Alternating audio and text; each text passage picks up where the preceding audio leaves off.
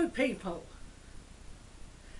This is a song about why Wagon Wheel is not a proper country song and it's the deep and meaningful reason behind it. First of all, too many words, too many words, way too many words.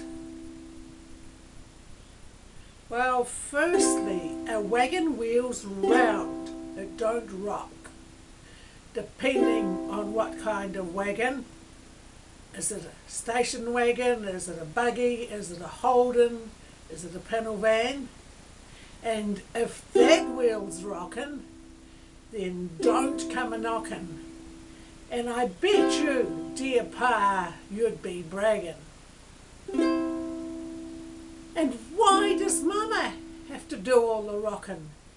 She's been working real hard all the day, cooking and cleaning and caring for kids while listening to Michael Bublé. Meanwhile, you moan about where you're going and you want her to roll in the hay? Seriously? After a hard day's yakka with kids, I'll tell you, it ain't that easy. But you're not content with just a wagon wheel rock. You expect exceptional gyrations. She must rock like rough weather when you are together, or like a train going south to the nations. Without so much as a please or thank you, I might add in the song.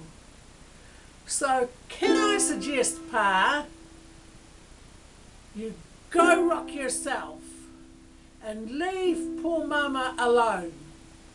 Buy an old armchair, you can fiddle away there, wagon wheeling all on your own.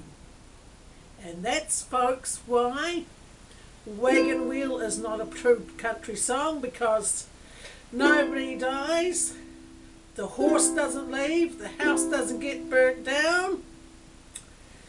It's just a silly song full of words, but that's my bottom opinion. Have a wonderful show.